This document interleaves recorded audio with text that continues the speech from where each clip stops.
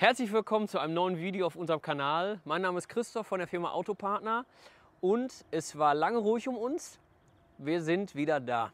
Also wir waren nie weg, aber es ist viel passiert im letzten Jahr und wir sind nicht dazu gekommen, weitere Videos für euch aufzunehmen, aber das ändert sich jetzt wieder.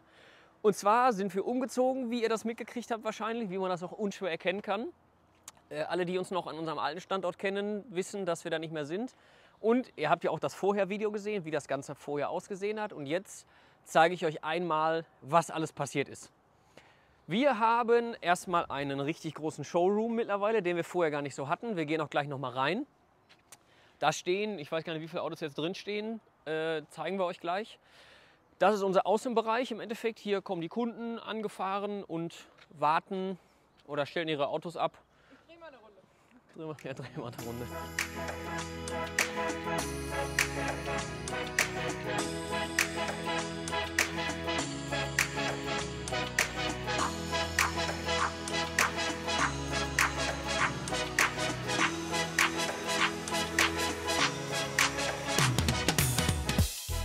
Dann geht's rein. Wir haben äh, auch eine riesengroße Werkstatt mittlerweile. Also wir haben uns in jeglicher Hinsicht sehr, sehr vergrößert.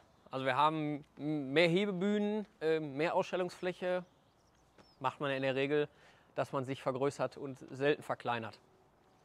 Hier geht es in die Werkstatt. Hier geht es in den Ausstellungsraum. Also wenn ihr als Kunden zu uns kommt, dann bitte immer durch diese Glastür gehen. Weil da ist die Werkstatt-Eingangstür, das ist kein Eingang, wie man drauf lesen kann. Ähm, bitte wenn immer durch die Tür. Das ist unsere neue Werkstatt. Da ist die Klinke schön in den Rücken geballert. ähm, genau, wir haben mittlerweile sechs Bühnen. Ähm, also wir haben eine Vier-Säulen-Bühne hier. Dann haben wir auch normale Zwei-Säulen-Bühnen, auch bis fünf Tonnen sogar. Also wir haben uns ganz enorm vergrößert. Wir haben natürlich immer noch crazy Fahrzeuge. Ist jetzt nicht so, dass wir ähm, langweilig geblieben sind oder langweilig werden, sondern wir haben hier zum Beispiel ähm, einen Jeep Gladiator Next Level. 6x6 wird der auch ähm, genannt. Drei Achsen. Hummer H2, VW Polo. Also wir, also wir machen nach wie vor alles. Pferdanhänger. Äh, Pferdanhänger, wir machen nach wie vor alles. Ähm, nicht nur Amerikaner, aber das ist schon unser Steckenpferd. Werkstatt. Dann gehen wir weiter ins Lager. Auch da, äh, also wir haben viele Sachen da, natürlich immer nicht alles, weil du kannst hier nicht alles ins Lager legen, aber auch wesentlich mehr Lagerfläche. Ja, Licht wäre von Vorteil. Wir haben das Ganze so gemacht, also das war ja früher schon mal ein Autohaus, wo wir hier sind. Und wir haben das im Endeffekt größtenteils übernommen. Ähm, unter anderem diese Regalkonstruktion haben wir übernommen. Aber wir haben das doppelstöckig gemacht, weil die Halle ist relativ hoch hier und in meinen oder unseren Augen wäre das einfach verschenkter Platz gewesen. Deswegen kommen wir gehen einfach mal hier durch. Wir haben jetzt hier die untere Ebene, die schon voll ist mit vielen Sachen. Aber wir haben auch noch mal eine Treppe. Wir können hier noch mal hochgehen. Brauchen wir jetzt nicht, aber damit ihr euch das vorstellen könnt, hier haben wir nochmal eine schöne große Treppe äh, aus Stahl, auch was Vernünftiges. Da kannst du hochgehen und dann ist oben nochmal zusätzliche Lagerfläche. Also man fährt das gleiche, was hier unten ist, nochmal doppelt. Und dann gehen wir weiter. Äh, Showroom, genau. Da stehen die Autos. Wir kriegen auch eine relativ große Ladung. Ähm, es kommen jetzt 35, 35, 36, 37, irgendwie so mittlerweile 39 ähm, Autos aus Amerika endlich wieder, weil es war ja lange, lange ruhig und wir hatten lange wenig bis keine Autos. Und jetzt wird es wieder richtig proppevoll bei uns. Das heißt, hier ist wieder die Tür, durch die ihr dann bitte reinkommt, wenn ihr kommt. Und dann ist das unser Showroom. Ja, immer Schuhe abputzen. Da äh, äh, lege mein Vater Wert drauf. Im Sommer natürlich nicht, aber im Winter wenn mit nassen, schmuckigen Schuhen die Leute reinkommen. Deswegen liegt hier so eine Teppichlandschaft. Ja, das ist es. Wir haben da hinten eine große Tür. Durch die Tür fahren wir unsere Autos rein und raus. Das heißt, wir sind leider bei manchen, wir können da rüber gehen, ich weiß nicht, ob man das so erkennt auf die Distanz, ähm, sind wir irgendwann an einem gewissen Punkt begrenzt, was, den, was die Möglichkeiten des Reinfahrens angeht. Aber wir kriegen schon eine ganze Menge abgebildet. Und jetzt haben wir einen ganz gemischten, bunt gemischten Fuhrpark, aber es wird nochmal, ähm, wird wieder aufgefüllt jetzt. Durch die Tür geht es rein und dann stehen hier all unsere Autos. Ich zeige euch auch in einem separaten Video nochmal, was wir so da haben. Jetzt möchte ich euch erstmal nur zeigen, ähm, wie es hier so aussieht. Wir sind ein TÜV-Prüfstützpunkt mittlerweile. Das heißt, wir machen nicht nur regelmäßig TÜV, sondern wir sind ein richtig offizieller TÜV-Prüfstützpunkt. Also wenn ihr irgendwelche Fragen rund um den TÜV habt, könnt ihr gerne euch an uns wenden. Dann haben wir hier relativ viel umgebaut. Ich weiß nicht, ob ihr das aus dem Vorher-Video noch kennt. Das ist mein Büro, das äh, vorderste hier.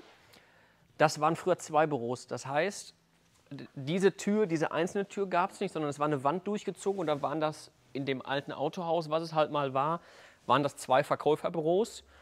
Das haben wir äh, umgestaltet, weil ich persönlich mag es auch immer nicht, wenn es zu eng ist. Ne? Also ich habe immer gerne so ein bisschen meinen Tanzbereich, wo ich mich ausbreiten kann und wo ich ein bisschen Platz habe. Dann hier die Tür gab es auch nicht.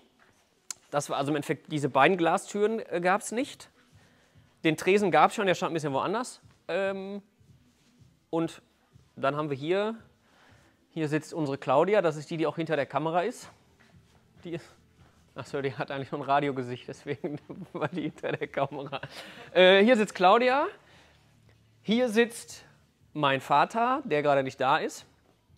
Ähm, ach, eine Küche. Wir haben, was wir sehr verändert haben, ich weiß nicht, ob die Leute, die das von früher kennen, das Autohaus hier, ähm, ja gut, die Mitarbeiterküche wirst du in der Regel als Kunde nie sehen, aber wir haben, weil die Küche vorher im Keller war, das hat uns nicht gefallen, haben wir für uns hier oben eine richtig geile Küche hingesetzt. Und zwar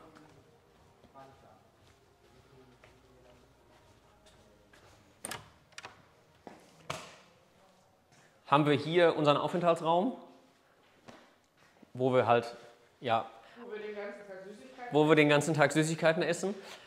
Ähm, man kann durch die Scheibe durchgucken. Also wir können, das könnt ihr jetzt etwas spiegeln, aber wir können euch sehen, wenn ihr reinkommt. Ihr könnt uns nicht sehen, also wenn wir hier sitzen und ihr reinkommt. Damit wir aber trotzdem mitkriegen, wenn hier ein Kunde kommt, ähm, damit wir euch trotzdem sofort helfen können und unser Essen komplett stehen und liegen lassen können und hechten dann raus zu euch. Ähm, ja, komm, dann gehen wir runter.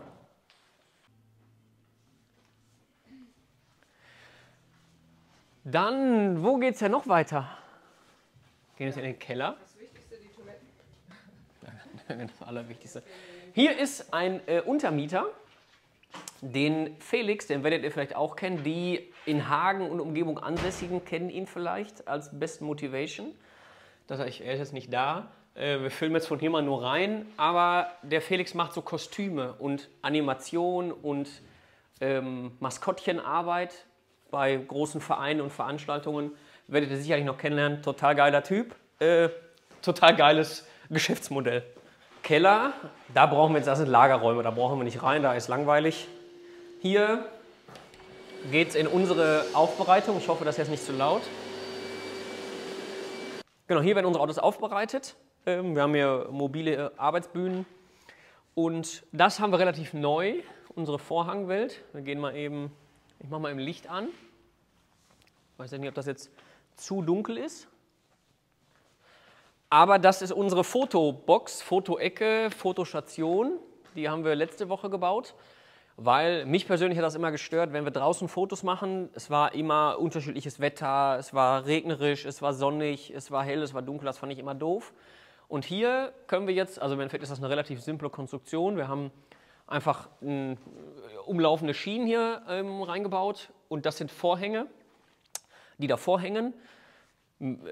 Für mich war wichtig, dass wir im Endeffekt einen Hintergrund haben, der immer gleich ist. Wir sind hier unten unabhängig von ja, äußeren Faktoren, egal was für ein Wind und Wetter draußen ist, egal wie warm oder kalt es ist. Wir haben hier einen geilen Boden, der gleich gefegt werden muss auf jeden Fall, bevor wir hier Fotos machen. Deswegen machen wir hier demnächst geile Autobilder. Ansonsten ist das hier Lagerfläche, hier lagern Autos. Ähm, einen Teil haben wir auch untervermietet, weil als wir hier angefangen haben, waren das so große Flächen, dass wir gesagt haben, Das brauchen wir nicht, das ist für uns zu groß. Ich stehe wahrscheinlich voll im Dunkeln, ne? kann man mich sehen? Ist gut, ja? Okay. Ähm, und dann haben wir gesagt, wir vermieten einen Teil der Flächen unter. Und theoretisch geht es da hinten noch weiter. Da ist jetzt Umkleide und nochmal eine Toilette. Die ist jetzt, glaube ich, nicht so spannend. Aber wenn wir da theoretisch durchgehen würden, kämen wir oben in der Werkstatt wieder raus, weil über uns ist jetzt die Werkstatt. Und ja, wir können auch rausgehen eben. Wir hatten nämlich damals auch, das konnte man früher nicht, hier um das Gebäude fahren. Weil wir haben, ach den Waschplatz, den doch, den äh, zeige ich noch. Man kann nämlich um unser Gebäude einmal komplett drumherum fahren. Das war uns ganz wichtig fürs Handling, damit wir mit den Autos nicht über die Straße müssen. Das heißt, wir sind jetzt hinterm Haus quasi, aber trotzdem äh, kann man hier schon sehen, da oben ist ein schönes großes TÜV-Banner. Also hier ist viel passiert. Dann gehen wir einmal hoch zum Waschplatz. Wir sind jetzt eben hochgesprungen, weil wir jetzt keinen Bock hatten, außen rum zu gehen. Äh, zeigen euch den Waschplatz. Das Grundprinzip des Waschplatzes gab es früher auch schon. Das kennt ihr auch aus dem Vorhervideo noch. Da stand da aus Glasbaustein eine Wand. Und wir waren da örtlich gebunden mit unserem Waschplatz, weil da der Ablauf und der Ölabscheider und das Ganze drumherum ist. Das konnten wir natürlich jetzt nicht mal eben unter den Arm nehmen und versetzen. Deswegen ist ja vom Grundprinzip da geblieben, aber wir haben den relativ groß gestaltet. Der ist gebaut aus so Sandwich-Paneelen. Kennen manche von euch vielleicht, so Sandwich-Platten heißen die. Damit haben wir auch die ganze Decke abgehangen. Also wer sich auch da ähm, an das Vorher-Video erinnern kann, dass hier im Endeffekt nichts war, außer das normale Dach. Und wir haben halt komplett die, ähm, also die Rohre erneuert und haben diese Sandwich-Platten hier reingelegt. A für die Dämmung und B aber auch, weil das den Raum wesentlich heller macht weil vorher war es dunkles Wellblech und jetzt ist es, sind es schöne helle Sandwichplatten. Das ist unser Waschplatz. Er ist jetzt leer, weil im Moment bereiten wir uns darauf vor, es kommen halt ab morgen die ersten von diesen 35, 38 Autos.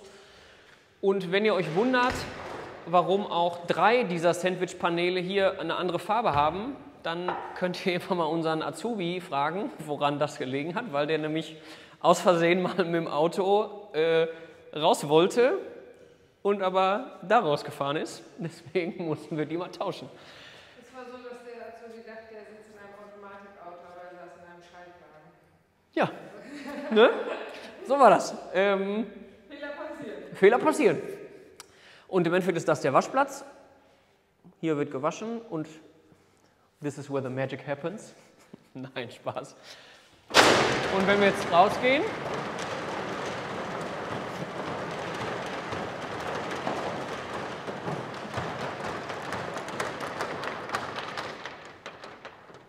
Genau, dann sind wir wieder auf unserem Vorplatz.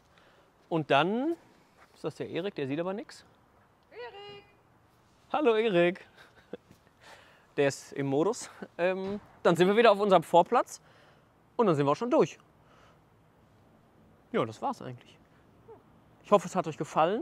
Ihr seid herzlich willkommen, gerne vorbeizukommen, euch das vor Ort anzuschauen. Ähm, und ich bedanke mich herzlich fürs Zuschauen. Nach langer, langer Zeit hoffe ich, dass einige von euch noch gucken wollen. Und jetzt kommen wieder regelmäßiger Videos. Und wenn es euch gefallen hat, wie immer, lasst gerne ein Like und ein Abo da. Und bis zum nächsten Mal. Macht's gut.